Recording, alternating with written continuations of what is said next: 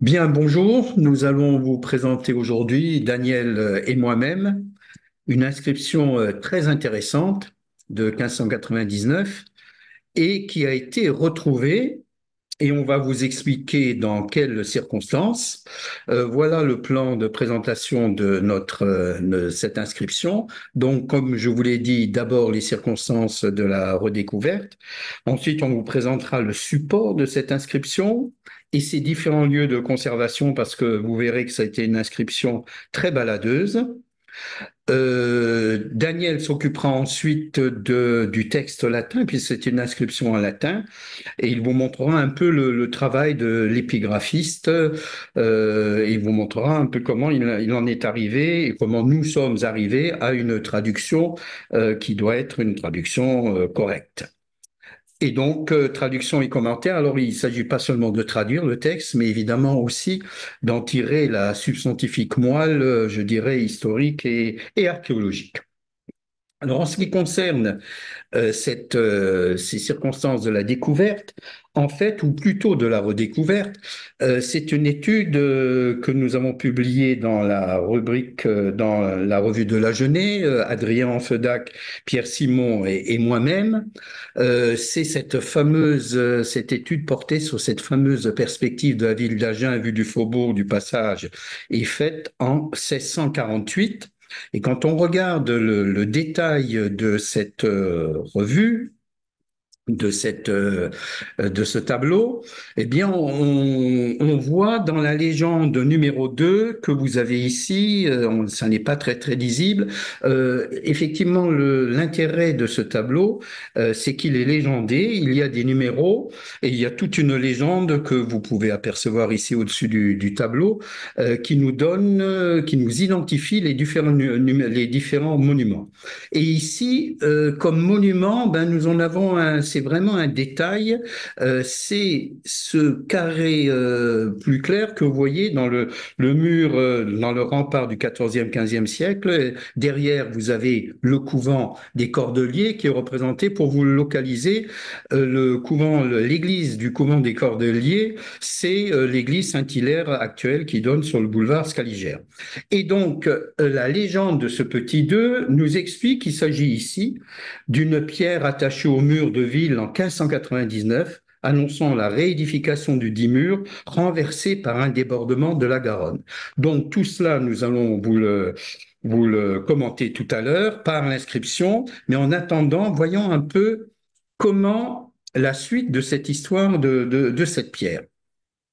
Euh, cette pierre, à partir du, moment où on a, je me suis rappelé avoir vu euh, cette pierre, mais il y a longtemps, une dizaine d'années, elle était exposée sur le, le sol du square du Pin.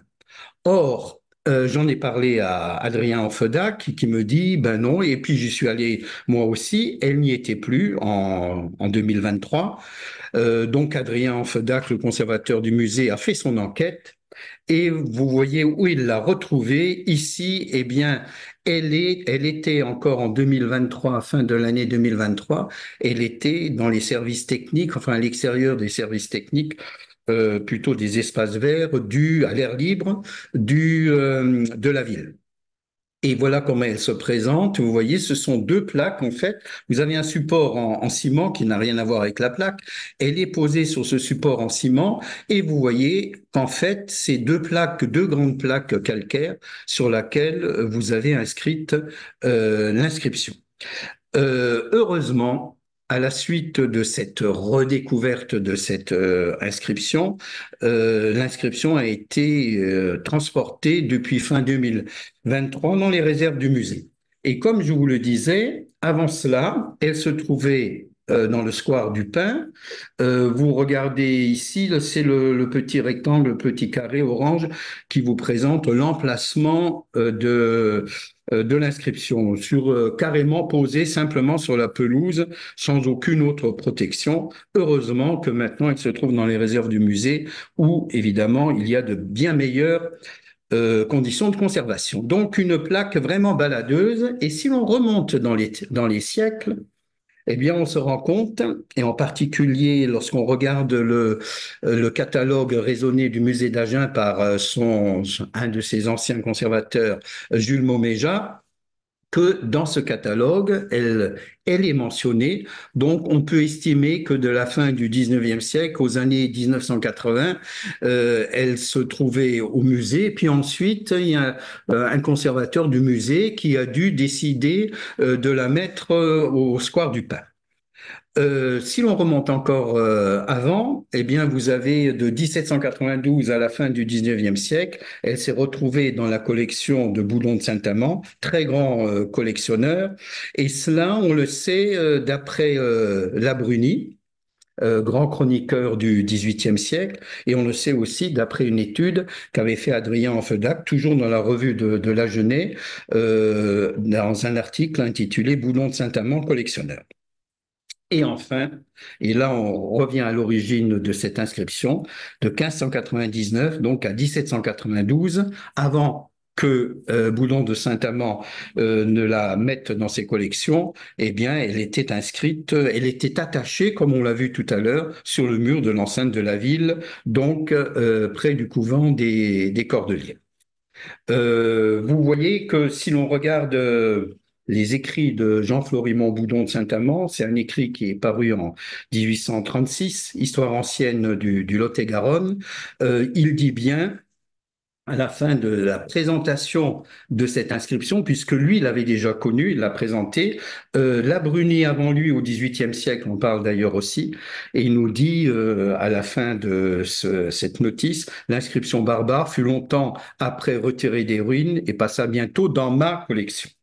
Euh, l'inscription barbare, euh, c'est un, une opinion un peu personnelle. On verra que c'est quand même une inscription, bon, en latin, euh, en latin un peu particulier de la Renaissance, mais elle est quand même loin d'être barbare et elle est, pour l'historien, l'archéologue, elle est vraiment très très intéressante. Alors voilà comment se présente cette inscription. Voilà le texte de l'inscription et c'est Daniel, notre éminent latiniste, qui va vous expliquer mmh. quelques astuces du lapicide pour pouvoir faire entrer tout le texte dans, euh, dans la pierre. Voilà, euh, donc euh, deux difficultés attendent l'épigraphiste qui se propose de déchiffrer un texte écrit sur la pierre. Les, qu'on appelle les ligatures, c'est-à-dire de, des lettres qui sont euh, conjointes et entrelacées. Vous en avez eu ici un exemple dès la première phrase, Flouvie. Alors ce n'est pas un W, ce sont bien deux V rapprochés pour gagner de la place sans doute. Ligature et euh, abréviation. Euh, COS, euh, ce sont en fait, euh, c'est un pluriel, le, redoublement du S indique un pluriel, ce sont les consuls d'Agen, le consul d'Agen qui est au nombre de 6 juste, euh, et voilà, voici ce, ce, que cela donne en transcription. Donc nous voyons d'autres, des abréviations également. Republicam, hein, le mot est tellement connu que tout le monde comprend quand, on s'arrête aux six premières lettres. Euh, le, graveur, en fait, a fait quelques erreurs. Et le fait que l'on appelle cette inscription barbare, c'est entièrement la faute du lapicide qui a rajouté ici une lettre qui ne devait pas y être, elle est entre, parenthèses.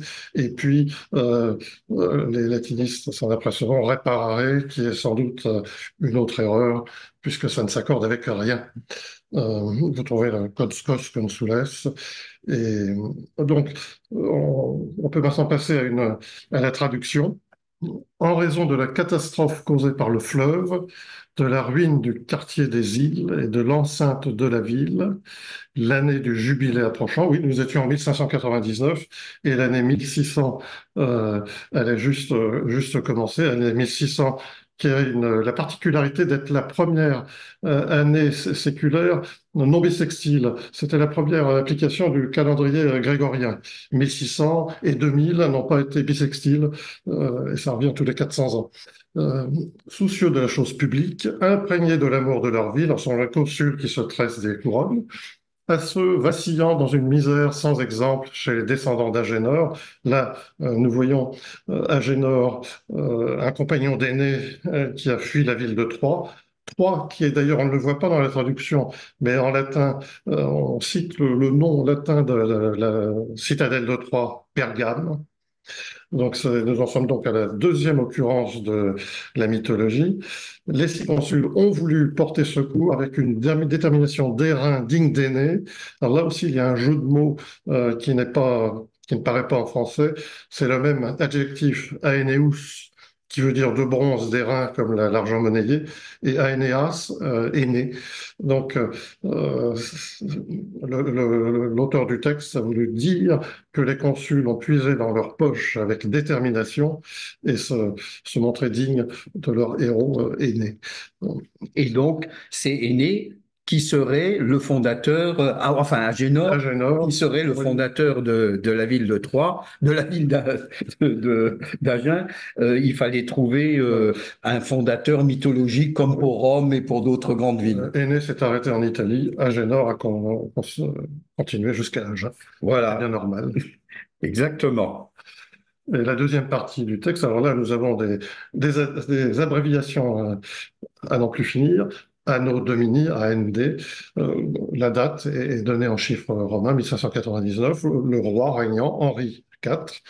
Les consuls, et là nous avons les, le nom des, consuls. Ils sont euh, désignés par leur titre M quand ce sont des gens de, robe, des avocats. Euh, des, quand ce sont des seigneurs, et le nom de leur seigneur suit Dominus, donc Domino, c'est un, ablatif. Donc ces consuls, eh bien, nous avons une liste les six consuls, Bernard Ducrot, Pierre Prévost, sieur du Béda, Domino du Béda, Jean Guiral, avocat, Jean Tapie, sieur de Monteil, Jean Fauveau, greffier d'Apo, et François Lafargue, qui est aussi un, avocat. Donc tous, euh, tous ces consuls sont, euh, ont bien se sont bien mis euh, sur la pierre l'année 1599. Et il y a une petite euh, abréviation qui est encore un peu mystérieuse et nous en, nous en parlons. Voilà, on a, dans la revue. Elle nous donne du fil à retordre. Fil indien nous donne du fil à retordre. Voilà.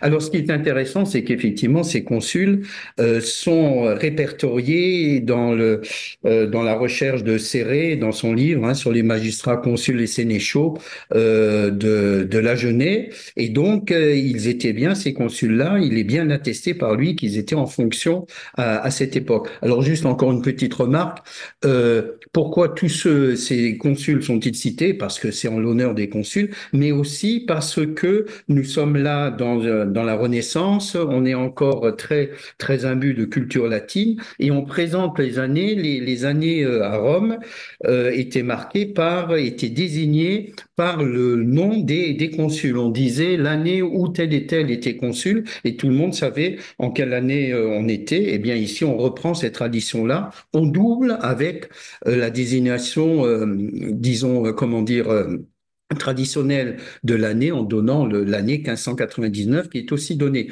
Et on la donne aussi en disant que c'est Henri qui règne, Henri IV qui règne à cette époque. Donc l'année, elle est très, très, 1599, ici, elle est bien, bien définie. Euh, alors, en ce qui concerne cette inscription, euh, ce qui était intéressant, c'est d'aller voir, et nous indique donc une, inondation très importante là de la Garonne. Ce qui était intéressant, c'est d'aller voir ailleurs si d'autres sources que cette inscription confirment cette fameuse inondation. Et on l'a, effectivement, on a même une source primaire, euh, c'est, ce sont les registres des, des jurades d'Agen. Les jurades, c'était le conseil municipal de, de l'époque. Or, dans les jurades d'Agen qui vont de 1599 à 1613, et en particulier pour le 5 février 1599, on signale, alors vous pouvez nous, faire confiance, c'est ce qui est surligné ici, on signale euh, une demande des Augustins qui demandent le don d'une certaine somme d'argent pour réparer leur église qui a été grandement ruinée par l'eau, ce que tout le monde sait.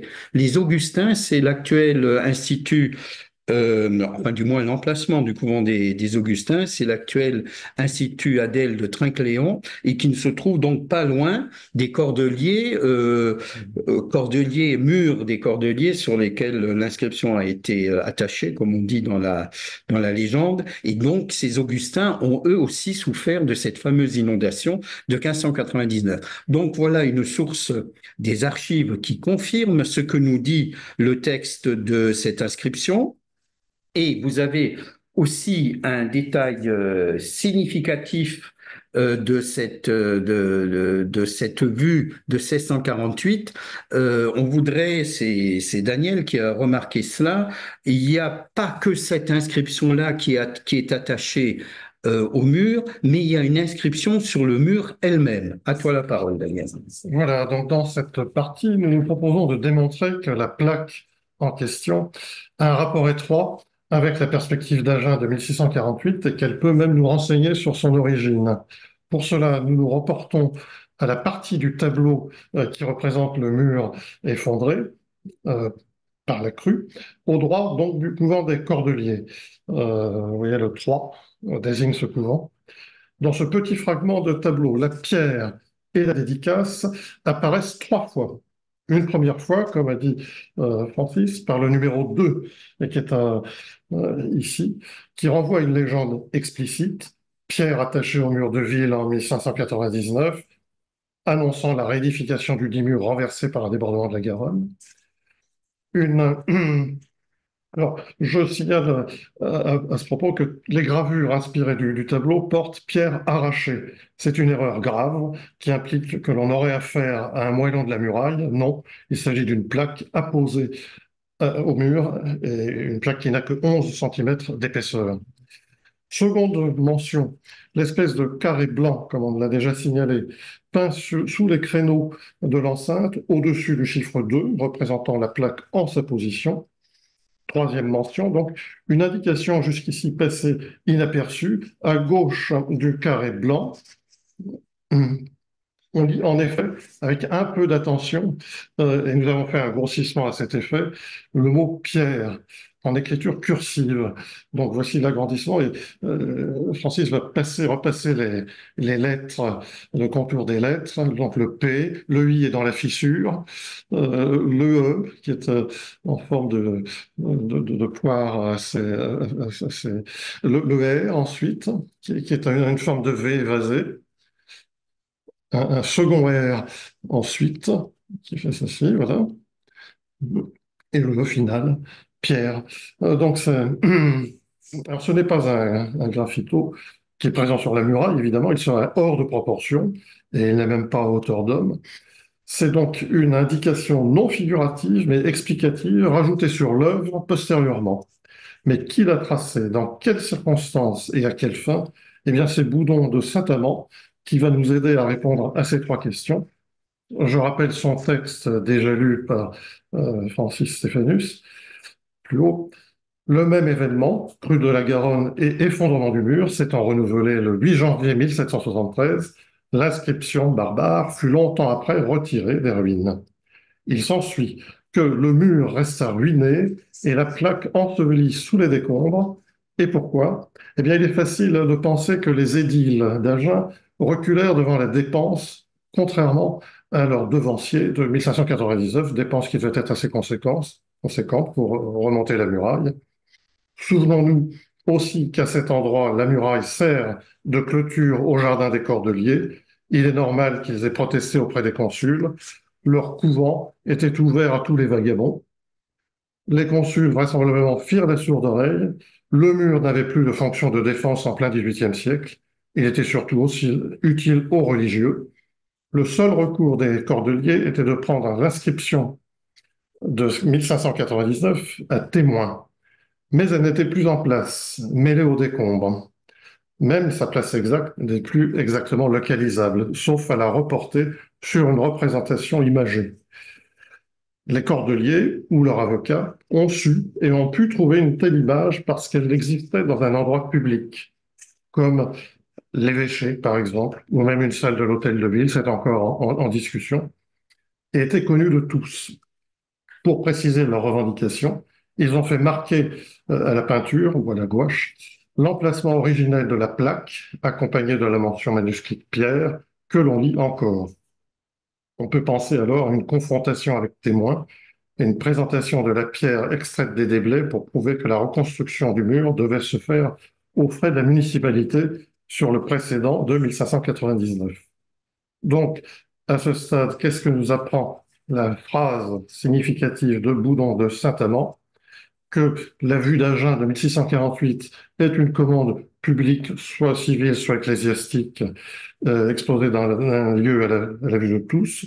Pensons par exemple à Sienne, à la salle du Conseil où est peinte la fresque du bon gouvernement qui représente la ville de Sienne.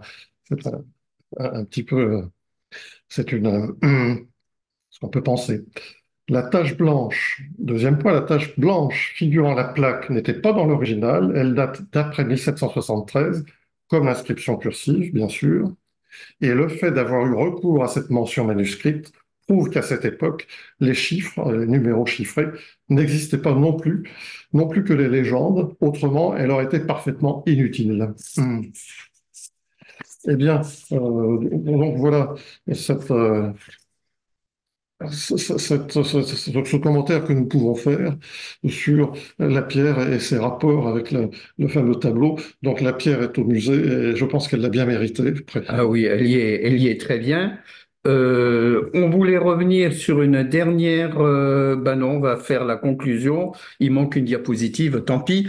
Euh, ce qui est intéressant en ce qui concerne cette, cette recherche et, et cette pierre en, particulier, c'est de, de, pouvoir croiser des, des sources différentes. Alors là, on a un document iconographique qui est cette inscription. On a le document iconographique qui est la vue de 1648, qui localise cette inscription on a le texte en lui-même et ensuite on a des sources primaires comme celle de, des jurats de 1599 qui euh, authentifie, je dirais, cette inscription et le contenu de cette inscription. Nous avons aussi des sources secondaires, je, n'ai pas pu vous les montrer là parce que la diapositive a sauté.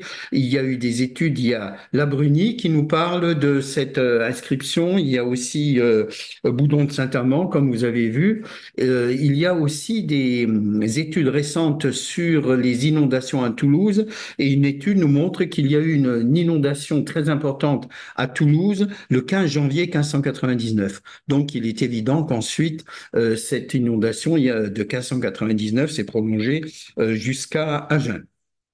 Euh, en ce qui concerne l'inscription lui-même, elle-même, il est intéressant de voir que c'est une inscription officielle hein, qui commémore à la fois une, une crue et qui commémore aussi la l'action comment dire, euh, euh, efficace des consuls. Évidemment, c'est aussi une inscription non seulement commémorative, mais aussi honorifique. Euh, les consuls qui se félicitent eux-mêmes de leur, leur efficacité et du, sens qu'ils ont du bien commun, res publica, hein, qu'on trouve dans l'inscription, signifie chose publique. ce qui est intéressant aussi, c'est de voir, ça confirme aussi ce mythe fondateur de, la ville, Agénor, qui est un Troyen euh, qui vient de Troie, euh, comme aîné est venu de, de Troie pour fonder Rome, eh bien Agénor est venu euh, de Troie pour fonder Agen, et on voit que cette, ce mythe-là fondateur est encore bien vivace au XVIe siècle, et on pourrait même croire qu'il est encore bien vivace aujourd'hui, comme nous le montre cette affiche publicitaire. Voilà, euh, euh, Daniel et moi-même vous remercions de votre attention.